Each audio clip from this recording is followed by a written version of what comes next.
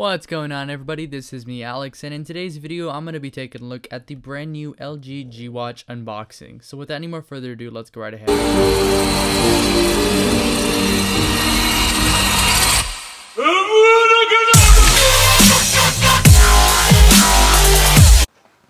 I just want to start off by saying that I am extremely sorry for the three month delay in all the videos. It's just that I've been extremely busy with all the iPhone 6, iPhone 6 Plus, and iPad Air 2, iPad Mini, uh, all the different uh, unboxing and reviews and checking them out. But I'm finally back with more videos and new technology for you.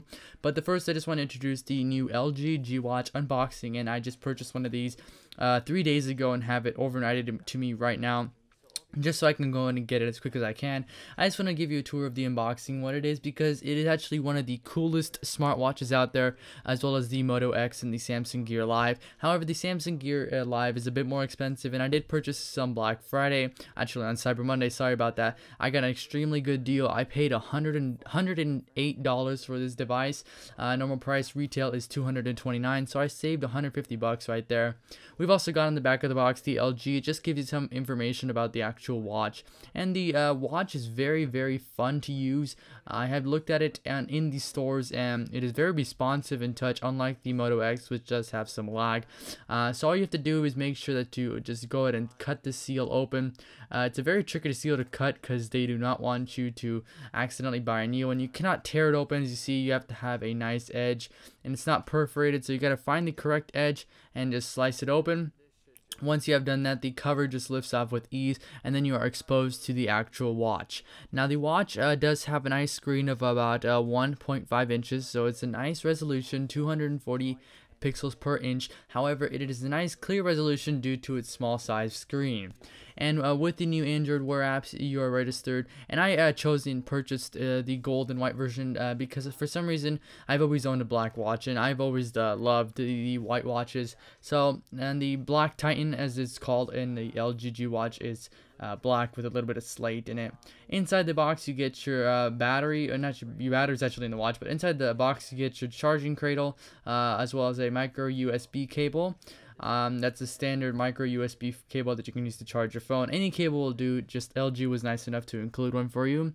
You also get a uh, manual as well as the actual watch itself and the travel adapter that you use to plug into your USB. Once you have the watch out, the watch just slides right out of its actual packaging. So all you do is just go ahead and unbox that that comes out of its packaging and then you're greeted with this beautiful display. You actually have to pull off the uh, tabs on the bottom and the back. There are two separate tabs. All you do is just peel them off and looking around the watch it does have a nice beautiful display. Uh, beautiful backing to its little five pins that you see right there for charging. You get this nice gold and really really soft touchy silicone band that's really fun to play with. And all you do is just peel off the display and you're greeted with this amazing mirrored finished display that's pretty much going to be only this clean for one time. Inside this little package you can get your charging cradle, you can just pop that right out of its socket. And then you're greeted with this little polyurethane thing that just sticks on your desk. And there's actually a nice package finish at the bottom of that thing that's so strong that it's actually stuck to your desk right now. It's actually stuck. All you do is plug in the USB once you have plugged that into the wall you can just go ahead and throw your um, you can go ahead and just throw your watch on that thing and it'll charge every night. It is magnetic, so it's a really cool feature. If you see right there, the watch will power on. Now, that's the only way you can turn on the watch if it's completely dead is to power it on. Otherwise, the watch will stay on the whole time unless you power it off. The only way you can power it on is to put it back on the charging dock, unfortunately. So if it does power off on you, uh, you get uh, a dead watch. But over here, you have uh, your Android Lollipop, Android 5.0 firmware running on your watch with the Android 5.0 lock screen so you can tell that this is a new watch because Android Lollipop has just been released. I've also updated my Nexus 5 to Android Lollipop which is an absolute firmware build. I'm one of the first people to get it of course other people still have to wait such as Samsung and LG have to wait a long time. If you start up the watch it's going to ask you to please select your English. I'm going to select English of United States and uh, all you do is just go ahead and select that. That's pretty much as easy as it goes. I'm going to go set up through this process English and install Android Wear on your phone. Now, unfortunately, you are going to have to do that um, Android Wear. When this watch was first released in June, it has been almost impossible to get. All you do now is just go to Android Wear, complete account setup, go to skip, and just install this invite.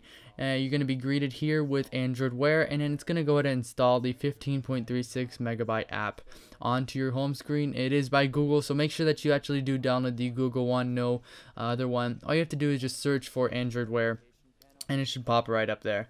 Now, if you notice right there, uh, once it finishes downloading, just go into your notification center and select the application. And then once that's done um, downloading, all you have to do is just launch it and complete the setup instructions that it does provide you with. This watch is very, very nice in uh, setup instruction wise, so it does give you a lot of information to set up. I noticed uh, before I was planning to get this watch, the Moto X didn't really give you a big enough choice. If you take a look in here, all you're going to do now is just slide down and click on the Android Wear installing thing. Once it says finish installing, or you can just click on the big open button right here in Google Play. Once you have done that, slide down and just click on Android Wear. Android will launch and says, let's get you set up. Make your watch smart. Click on accept, accept, accept. Turn on Bluetooth. That's that's the first step. So the first thing you have to do is go here and then turn on Bluetooth. Then you're going to select the G-Watch, which is going to be automatically almost immediately displayed. So just click on the G-Watch 3813, and it's going to connect your G-Watch. Now your pairing code is going to make sure you match that 815896, and all you do is just click on the little circle, and it's going to say pairing with Nexus 5 that's going to go ahead and pair and you want to make sure you also pair on your phone so you get to tap that too and then it's going to immediately connect to your watch and say paired. Once that happens it's going to go to notification settings and then you're going to pop that up and make sure you have that enabled or else no notifications that appear on your phone will appear on your watch. So you have to have that enabled. Now you're pretty much connected to your watch and you can go ahead and browse your suggested applications. But before you can begin anything your watch is going to want you to download a firmware update which will take a long time since it is virtually downloading through your phone and then transmitting that over bluetooth. So it will take a long time. Mine took about 20 25 minutes almost to a half hour almost uh, in order to set up. And in the meantime you can browse your android wear apps such as google uh, my car locator which i have yet to try out. Uh, you also download family locator which is a weird one actually. And also a whole bunch of communication apps health and fitness apps entertainment uh, travel and local and Netflix, and everything else that you would like to do on your uh, smartwatch. Once you have done that, it's going to start the download firmware, and as you see, it's going to take a very long time. So uh, soon here, I will actually cut out, and it's going to say right there, downloading. So you really want to pay attention and make sure that that finishes. In the meantime, you can go ahead and dim your screen. And I heard that you can dim it if you cover it with your palm, but I don't know if that's true, so we're just going to have to watch. Oh yeah, there it goes and all you do is just wake it up with one arm.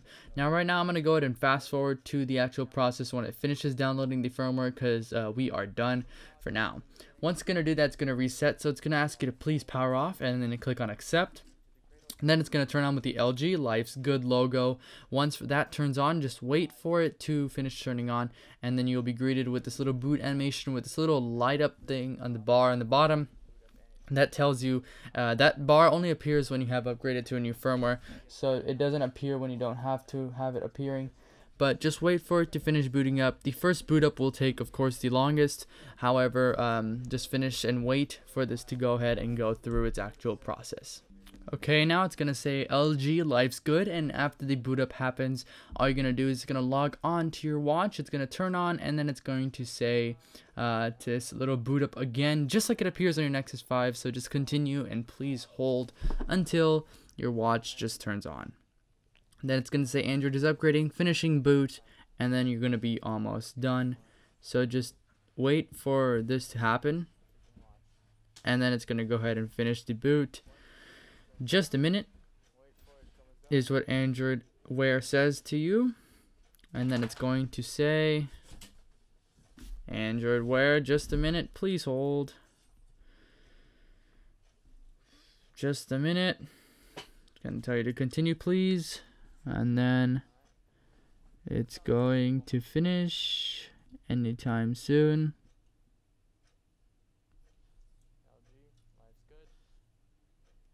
Okay, now once it has turned on, it's going to say the 429 Google. Uh, of course, if Speak Now, Google Now turns on automatically like that. And you have a whole bunch of things. You can take notes, reminders, do all that that you want. Um, of course, there's a whole bunch of stuff that you can do, uh, stuff that you will do, and stuff that you just won't. But here's an example. It's very accurate. How tall is the Empire State Building? 1,250 feet or 381 meters.